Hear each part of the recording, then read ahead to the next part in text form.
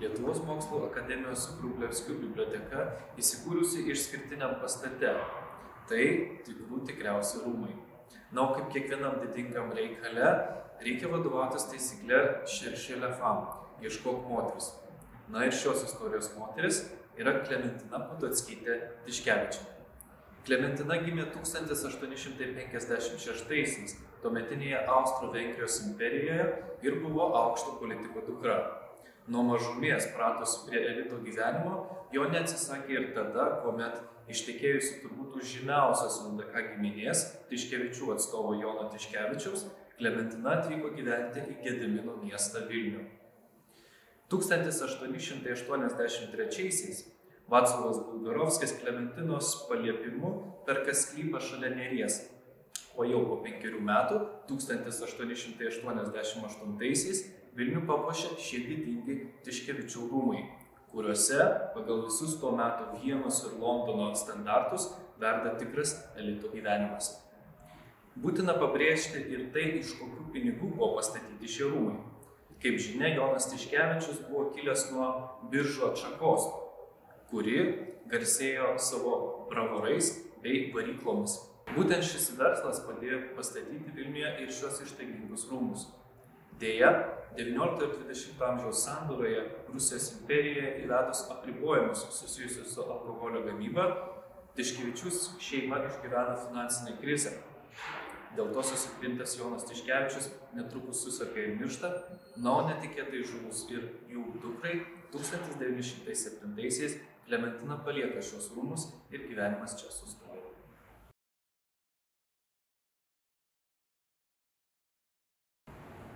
Įžengę į mūsų biblioteką galite pamatyti tikrą įsimylėjėlių porą. Tai Oskaro Sosnovskio skulptūrinė kompozicija Jogaila ir Jedvyga. 1852-aisiais Romoje iš baltojo marmuro pagaminta skulptūra išgarsėjo tuo, jog tai Rusijos imperijoje uždrausta skulptūra.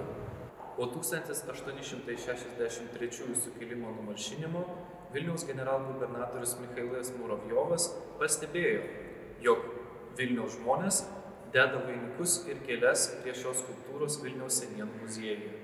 Tai itin piktino tuo metu valdžią, todėl skulptūra buvo pašalinta iš ekspozicijos bei išvežta į Maskvos Rumencevo muziejų.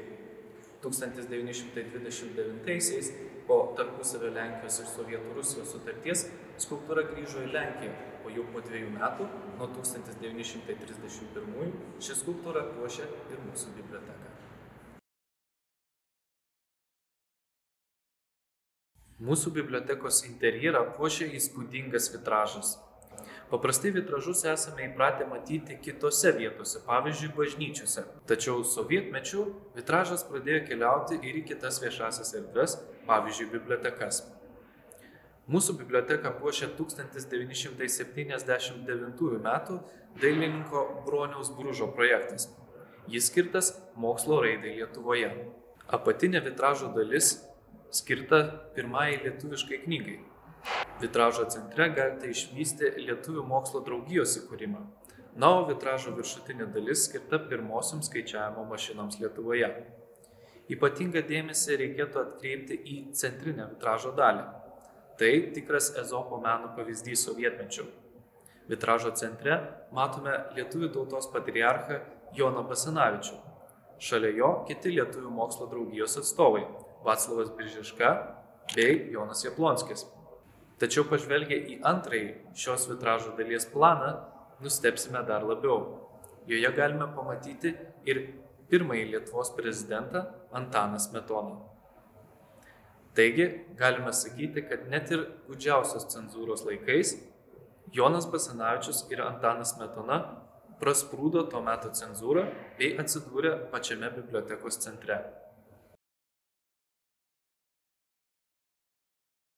Būsimasis advokatas Tadas Urublevskis gimė revoliucingoje šeimoje, kur šeimos nariai buvo pasižymėję savo kova prieš carinę priespaudą.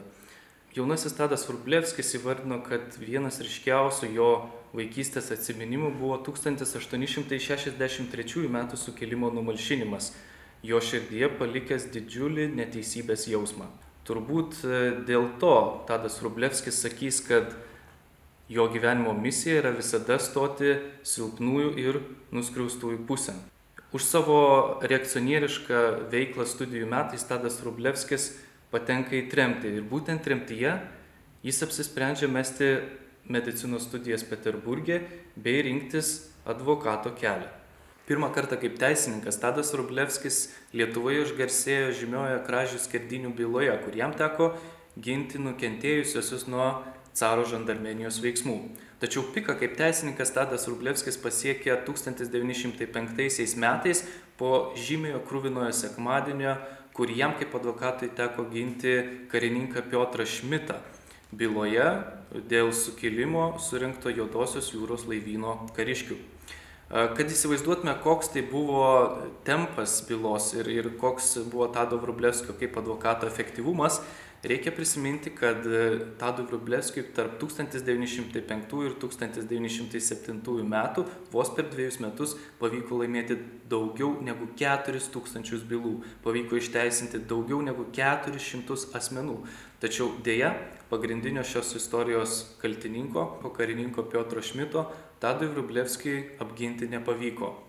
Piotras Šmitas buvo nuteistas myriop, tačiau Tadas Vrublevskis čia atsiskleidžia iš tikrųjų kaip neįlinė asmenybė.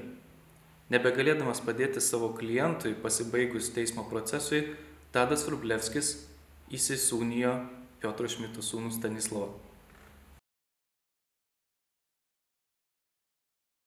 Bibliotekos istorija prasidėjo universiteto gatvėje 9 priešais dabartinę prezidentūrą, kur savo tėvų Emilijos ir Eustachijaus būte žymusis advokatas, bibliofilas ir visuomenininkas Tadas Rublevskis pradėjo kaupti savo knygų kolekciją. Jo bičiulis Mykolas Biržička net sakydavo, esą Tadas Rublevskis turi išskirtinę savybę, turėdamas platų pažinčių ratą Vilniuje ir siekdamas kuo daugiau sutaupyti pinigų knygoms, Tadas Rublevskis pusryčiaudavo ir pietaudavo vis kitose Vilniaus vietose. Tokiu būdu Tadas Rublevskis, supirkinėdamas kolekcijas iš nuskurdusių LDK bajorų, surinko įspūdingą lobyną. Daugiau negu 65 tūkstančiai knygų, per 5 tūkstančiai rankraščių, tūkstantis žemėlapių, numizmatikos rinkiniai bei meno dirbiniai. Visam šiam turtui nebetelpant būte universiteto gatvėje, buvo nuspręsta ieškoti naujų patalpų ir įkurdinti biblioteką. Tokiu tikslu tais pačiais metais buvo įkurta ir Tado Vrublevskio tėvų garbiai dedikuota Emilijos ir Eustachijos bibliotekos draugija. Siekiant įspūdingai kolekcijai suteikti namus, buvo rastas sklypas Mindaugo gatvėje. Jo pirkimui Tadas Vrublevskis skyrė daugiau negu 40 tūkstančių rublių. Įspūdinga suma tais laikais. Deja, pirmasis pasaulinis karas sumaišė kortas ir bibliotekos statybos liko nepradėtos. Po karo silpdamas Tadas Rublevskis nusprendė savo kolekciją pavesti Vilniaus miesto globai. Tiesa, savo testamente iškeldamas tris esminės sąlygas. Jo kolekcija negalėjo būti išardyta, negalėjo palikti Vilniaus miesto ar atitekti Vilniaus universiteto bibliotekai. 1925 metais po Tado Vrublevskio mirties Vilniaus miesto valdžia, bijodama, kad kolekcija nepražūtų, suteikė bibliotekos draugijai ir išskirtinį valstybinį statusą.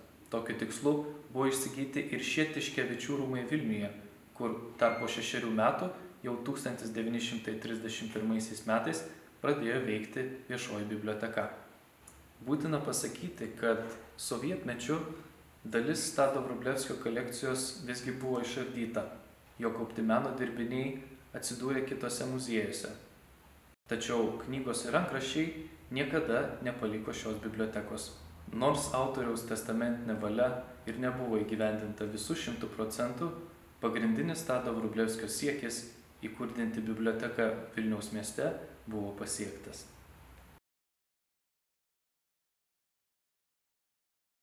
Tadas Vrublevskis visada buvo nebeingas lietuvių kalbos ir Lietuvos politikos reikalam. Dar būdamas tremtyje savo tėvų prašė atsiųsti jam Kristijono Danilaičio poezijos ir lietuvių kalbos vadovėlį. Jonas Basanavičius savo dienoraštį rašys, jog Tadas Rublevskis visada buvo ypatingas lietuvių draugas. Lenkų apsisprendimą nedalyvauti Lietuvos tarybos veikloje Tadas Vrublevskis laikė didžiulę klaidą. Pagarbą lietuvių ir vietos gyventojų tarpe Tadas Vrublevskis pelnė neatsisakydamas ginti vadinamųjų nepatogių bylų. Viena tokių buvo signataro Mykolo Biržičkos teismas 1921 metais. Mykolas Biržiška išspausdino karikatūrą, kurioje pavaizduota Švento Kazimiero ir Endeko pokalbis, siekiant pasijuokti iš to meto populiaraus naratyvo, kad lietuviai esą pagonis, o lenkai krikščionis ir tiesa esą Lenkijos pusėje. Už visą tai Mykolui Biržiškai tuo metu grėsė net ketveri metai sunkiųjų darbų kalėjimo. Tačiau viską išgelbėjo Tadas Vrublevskis. Teismo proceso metu pasitelkęs Tomo Kviniečio teologiją, Tadas Rublevskis sugebėjo užginčyti visą kunigų teologų ekspertų komisiją. Esą įrodęs, kad jie nesuprato gilios Mykolo Biržiškos įžvalgos. Visi kaltinimai buvo atmesti. Tai niekada nebuvo pamiršta. 1939 metais Vilniui sugrįžus į Lietuvos sudėti, būtent signataras Mykolas Biržiška pakvietė pavadinti vieną iš Vilniaus gatvių Tado Vrublevskio vardu. Kalbama, kad 1925 metais mirus Tadui Vrublevskiui tai buvo vienintelė diena Vilniuje, kur taikiai susirinko ir lietuviai, ir lenkai.